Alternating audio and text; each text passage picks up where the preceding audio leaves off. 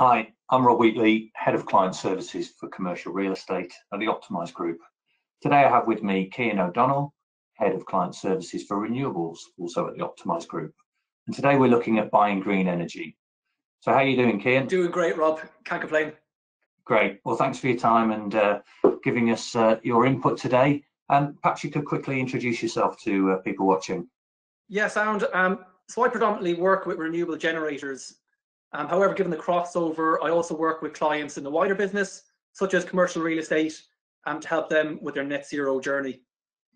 Great. Okay. So buying green, first things first, what does that mean?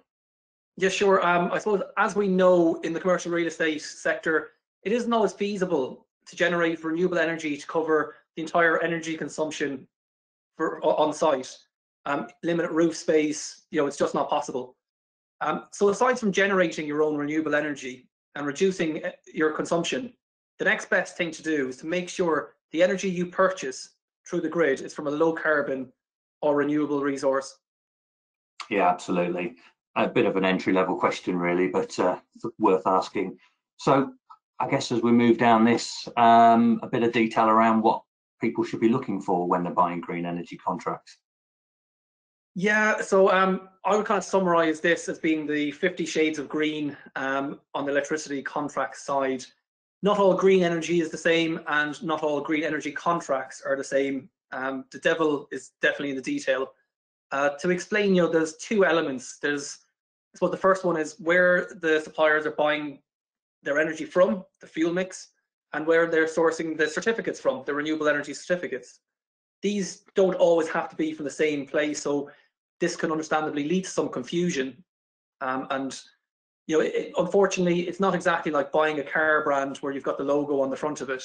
Um, and you know, if we take an example of a business buying uh, like buying their energy through a green energy contract, um, the first question I would ask is, can they confirm the source of energy that they're purchasing? They might say, you know, it's wind, solar, biomass, or they mightn't even know. Um, and then I, would, I could also ask them, you know, is it only the certificates that they're getting through this contract? Or if it's both the power and the certificates? And this might prove a little bit more difficult for them to answer. Yeah, absolutely. And, and existing renewable sources such as hydro, which have been in the mix for years and potentially are now being sold as, you know, a new green renewable, um, you know, energy contract, which isn't strictly true. Um, so what proportion of the UK electricity mix is renewables today? Yeah, so okay, um, if you look back at 2019, like it has increased a lot over the years, but back in 2019, um, it, it, it, actually made up 37% of the entire supply. And, and this is great, you know, but we've got a long way to go if we want to further decarbonize the grid to reach our net zero targets. Yeah, okay. And Europe, is, is there a different story over there? What about renewables coming from, from Europe? Over here? Yeah, yeah, there's quite a lot. And actually, um, in fact, some of the certificates come in, you know, as we already mentioned, 37%, which is equates to 120 terawatt hours um, of renewable energy is generated in the UK in 2019. In the same year, actually, 60 terawatt hours, so half of what we generate ourselves, was actually certificates coming in from Europe. Um, there had been some questions over these guarantees of origin and how they would be dealt with after Brexit. So there's a lot still there to to I suppose come out of the come out of the wash. Yeah. Okay. So I, I think that additionality is probably the key uh, aspect here. Then, so can you tell us about buying a green energy contract to help support additionality and the growth of renewables? Okay, so additionality has become a very popular term recently. That effectively means, you know, supporting the development of new renewable projects that might have otherwise not got not have got built. Um, and while it's good to supply, you know, to buy your energy from a supplier that sources their energy from renewable generators, um, that doesn't necessarily lead to supporting new developments. Um, and I'm not saying you know anything bad about REGOs; they're not a bad thing. Uh, but I would add here that you know no no plant has ever been built, no renewable energy plant has ever been built on the promise of somebody buying their REGO certificates. Um, it's it's actually a tiny value that some, not even all, renewable generators get paid on. Um, so I would say if you're if you want to support the development of new renewable projects, then a corporate PPA would probably be the best route to go. Okay, so there's a couple of bits there then, corporate PPAs, um, green certificates. So maybe you could explain what are the different ways you can buy green energy today? Yeah, sure. Um, I'd like to think this is kind of like being a ladder. Um, at the bottom of the ladder, it's the do nothing approach, same as you know, same as always. Um, once the next step, you know, the first step up, let's say, that'd be buying your energy from a green energy supply contract. Um, the one up again from that might be buying from a, a, a supplier that only purchases 100% of their energy from renewables, so that for their fuel mix. Um, the next step up that ladder could be corporate PPAs, and that's entering a price agreement directly with a renewable energy project. Uh, so you'll have full traceability, and you'll be able to you, will also help a new project achieve funding on the back of this long-term price commitment. And then lastly, um, so the top of the ladder would kind of be this, you would be the new model of consuming 100% of renewable energy 100% of the time it's needed, which is known as the 100 by 100 model, which is kind of like the pinnacle of where energy, uh, renewable energy contracts are at at the minute. Yeah, yeah, I've heard of these 100 by 100 models, and um, I'm seeing them really associated with, you know, as you say, it's the pinnacle of energy contracts, probably the pinnacle of uh, organizations out there, the Googles of this world. Um, so given that that might be out of reach for a lot of uh, commercial real estate customers, um, corporate PPAs are probably the main target. Could you expand a little more on that, just to uh, fill in some more detail? Yeah, yeah, no, no problem. Um, so corporate PPAs, they basically join the dots between the generator and end user. Um, so the buyer, the buyer to the seller, effectively, um, and using the grid and supplier as kind of like the delivery mechanism in the middle. Um, in a post post uh, renewable subsidy market, so you may have known about ROCs or FITs, you'll often come up, come up. But in kind of the post subsidy era, um, corporate PPAs are great to be able to support the kind of the long term price for the power that they will generate. Uh, the major bridge in this, I guess, you know, this is kind of like more of a mindset, is that where companies have traditionally been buying their energy on a one, two, or three year basis uh, for many, many years. Trying to get across the look at kind of like a corporate PPA, which would need, you know, might be a 10 to 15 year purchase. It's just getting around that kind of new, new mindset and new approach. Yeah, yeah, makes sense. And obviously, the benefits of a PPA is, you know, you are driving forward the additionality, as you say, the addition of more renewables into the system, which is decarbonising us as a as a whole very attractive then.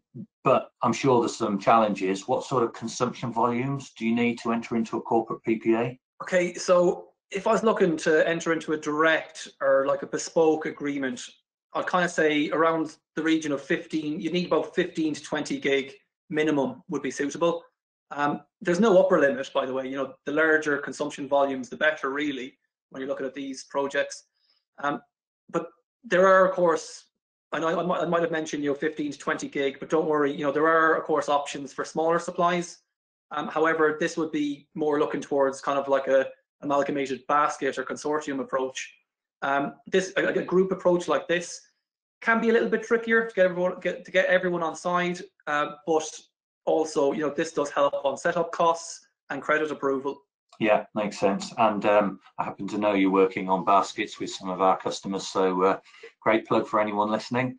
Um, uh, we mentioned then volume being maybe one of the challenges.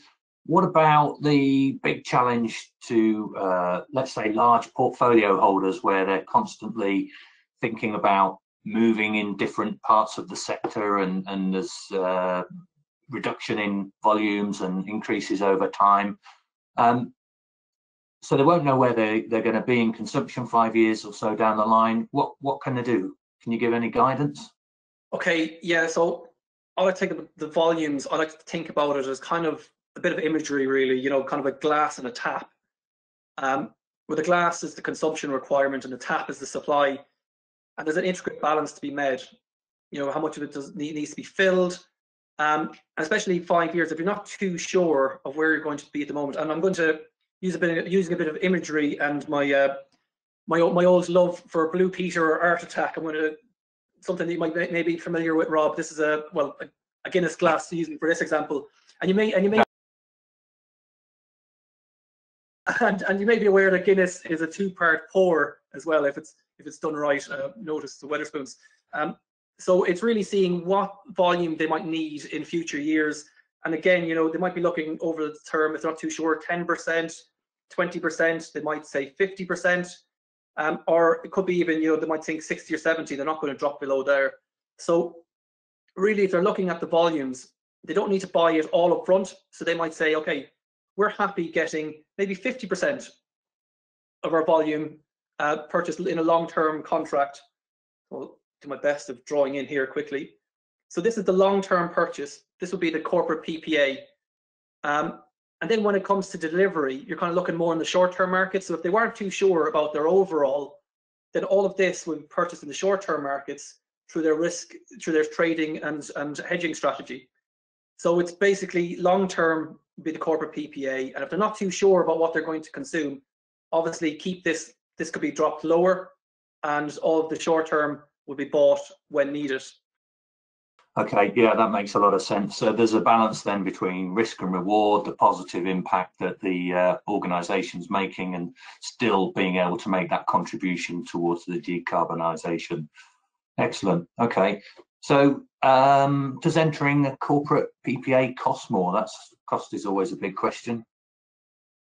Yeah, okay, this again, probably a question that crops up a lot, but if I was going to sit on the fence, I'd probably say not really. And what I mean by that is that new wind and solar projects are actually now the cheapest form of energy. Um, the, power market as well is only priced three years ahead. So these prices that are only priced three years ahead are also used on the basis to create these on a corporate PPA, a 10-year price, for example. Um, given how volatile the market is, as just as we've seen at the start of year 2021, um, trying to accurately predict where the prices are going to be in five to 10 years is next to impossible. Um, so it's quite hard to say whether the prices are going to be higher or lower than the corporate PPA price that you will set into the, given today's market. Um, however, if you look at it on, on another way, there's a lot of you know there's a lot of people using corporate PPAs to increase their price certainty, their long-term price certainty, where they're not able to buy energy out you know 10, 15 years ahead ahead in any other way. Great, fair enough. We won't argue with you. Um, so I think that probably covers this on uh, power. The the next area I think which is uh, gaining quite a bit of interest is green gas. Um, what is it? Can you tell us a bit more about that? Okay, um, absolutely. I suppose we've we've, we've uh, dominated, and a lot of the headlines get dominated by power. However, um, there are currently around 100 biomethane plants producing and injecting green gas into the UK gas network. Uh, we work with several several of these, and just like we mentioned earlier about power, these work with very similar principles in, in with the two parts, where there's the green gas commodity and the uh, certificates. And just like on the power side, these can be traded independently. The main difference though is, is unlike on the power side, where renewables that we mentioned are making up roughly 40% of the, of the power supply, green gas is less than 1% of the total UK gas usage. Um, so still quite a niche market with premiums to be considered.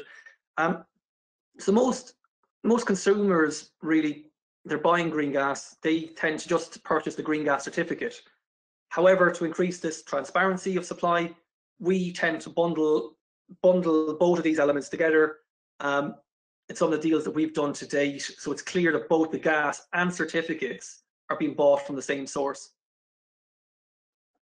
yeah absolutely great well that's really helpful information um, so i think if I just summarize what I'm hearing, that um, really, if you want to enter into a green energy contract, you've really got to be aware of the details, know what you're getting, understand it's about transparency, seeing if those are certificates, if they're legitimate.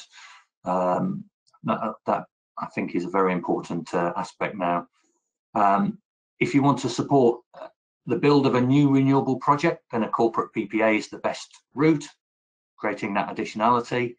And if you use gas and you want to decarbonize, then there are options now around green gas. And presumably people can contact you via the website, which or our group website, so the uh, optimizegroup.com, and um, contact us via that. But um, great. I mean, thank you for your time today. Very uh, generous to share your insight, and uh, I'm sure you'll uh, get lots of interest from uh, some of those topics you've touched on today. Yeah, absolutely. I think, think you summarised it great there, actually. Okay, thanks again. Take care. Bye. Cheers, Rob.